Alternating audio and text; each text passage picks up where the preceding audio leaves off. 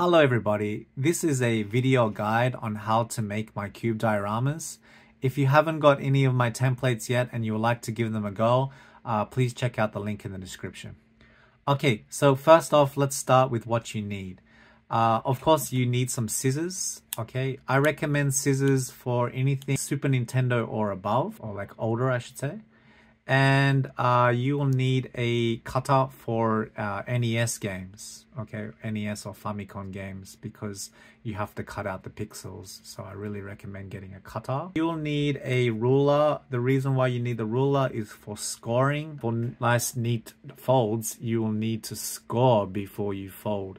So we use the ruler for that and the back of the uh, cutter okay?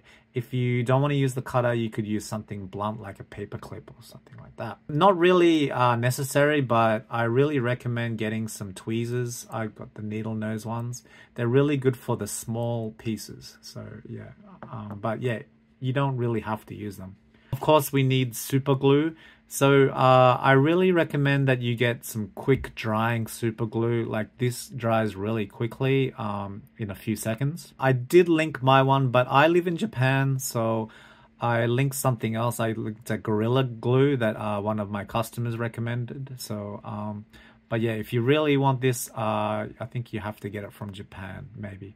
But uh, yeah, for super glue, I really recommend the gel type. You can get by with the super glue, but I also really recommend getting some of this um, tape glue.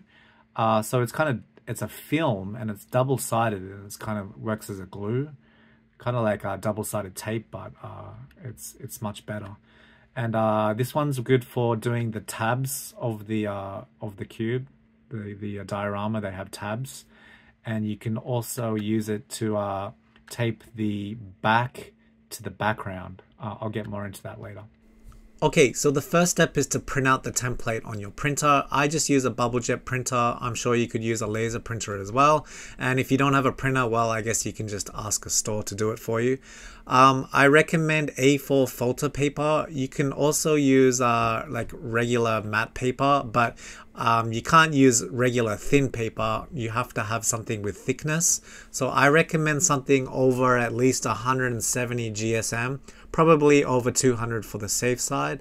Um, photo paper produces much crisper images and yeah, all my templates are in high definition. So yeah, use photo paper to take advantage of it. So uh, for the cubes, uh, please use my link. Uh, it's a link on Amazon. You get four cubes. It's the best value.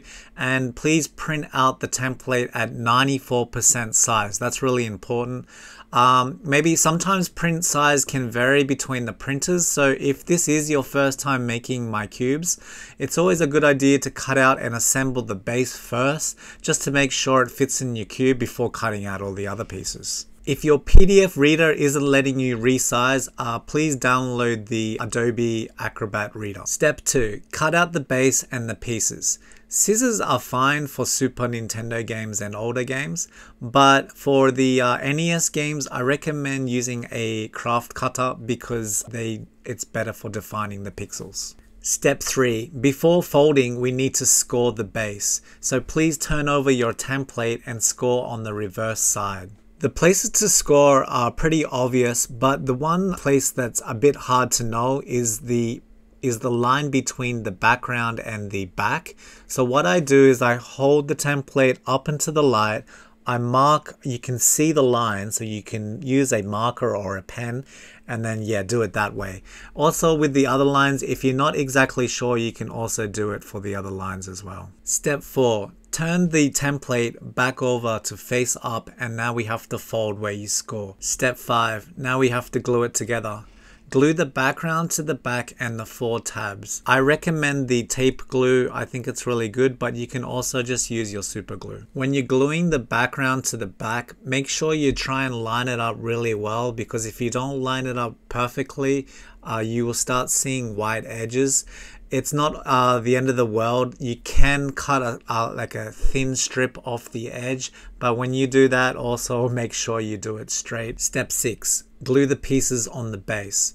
Please use a real quick drying super glue. You want it done in seconds, otherwise you'll be holding it there forever. When you're attaching pieces to the background, don't use super glue, use a loop of tape and that'll make the character pop out, giving you more of a 3D effect. With some of my templates, you're required to attach a piece to the uh, plastic of the cube. So when you do this, I don't recommend using super glue because sometimes super glue can react with the plastic and make the plastic turn white. So what I do is I use a clear craft glue. One of my viewers told me the Gorilla Super Glue also doesn't affect the plastic so you can use that as well. Step 7. Place the diorama in the cube. You're done. Thank you for watching. I hope that was a useful tutorial. If you have any criticism or if you want to add something, please write it down in the comments below.